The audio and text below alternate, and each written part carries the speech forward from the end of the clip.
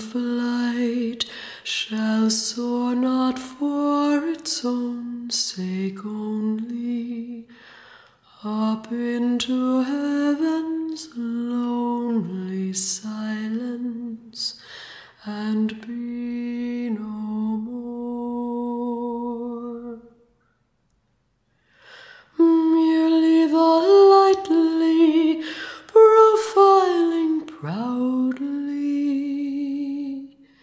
successful tool, playmate of winds, beguiling time there, careless and cool.